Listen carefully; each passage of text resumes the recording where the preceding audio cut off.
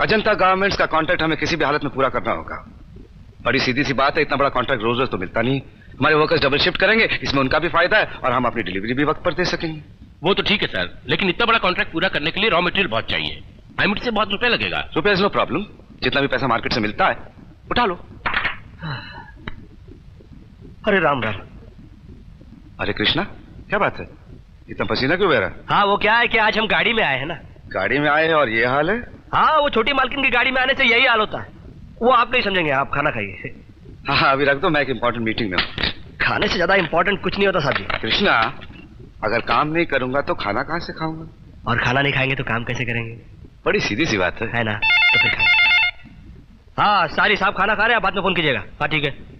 किसका फ़ोन था? अरे किसका भी फ़ोन था आप खाना खाइए ना। आप लोगों को भूख नहीं लगती क्या? आप भी जाइए अपना खाना वाना खाइए खाने दीजिए। सर बुरा मत मानिए। लेकिन एक मामूली से नौकर को इतना सर चढ़ाना अच्छी बात नहीं है। किसी भी ज़ुबान को सीखने के लिए छह महीने काफ़ी होते हैं लेकिन उसके सही इस्तेमाल के लिए साठ साल भी बहुत कम होते हैं। ये ये जिसे जिसे तुम मेरा नौकर कह रहे हो ना ये मेरा छोटा भाई है ये मेरा अज़ीज़ है ये मेरा सब कुछ है। हाँ ठीक है। इसके साथ मेरा खून का रिश्ता न सही लेकिन क्या खून का रिश्ता होना ज़रूरी है? आई एम सॉरी सर लेकिन आपने आज तक बताया नहीं कि कृष्णा है कौन। कृष्णा एक अनाथ है साहब जो इस देवता को आज से 18 साल पहले मिला था। उन होठों की मिठास हम आज भी अपने पेशानी पर महसूस करते हैं। उस दिन तक ये हमारे कोई नहीं थे मगर आज आज ये हमारे सब कुछ है। भगवान कसम इन्होंने हमें इतना प्यार दिया। कि इस अनाथ को कभी अपने सगे माँ बाप की भी याद नहीं आई इधर।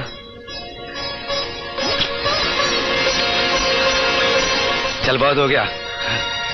खाना आप जा सकते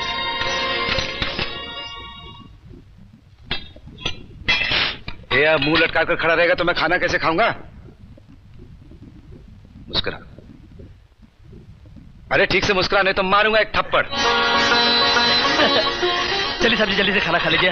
हमको डिब्बा लेके जाना है। क्यों आज इतनी जल्दी क्यों है डब्बा लेकर जाने की? अरे वो छोटी मालकिन अपनी सहेलियों के साथ फ़िल्म देखने जा रही है ना उनकी टिकट लेने जाना है। टिकट?